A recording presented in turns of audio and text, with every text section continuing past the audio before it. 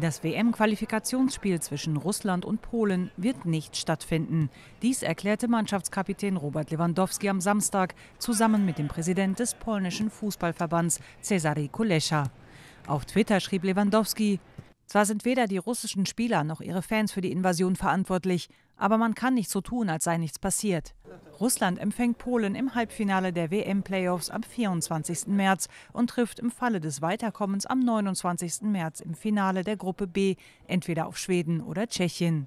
Verbandspräsident Kulescha schrieb auf Twitter, man sei in Gesprächen mit dem schwedischen und tschechischen Verband, um der FIFA eine gemeinsame Position zu präsentieren. Die FIFA reagierte vorerst nicht auf eine Bitte um Stellungnahme.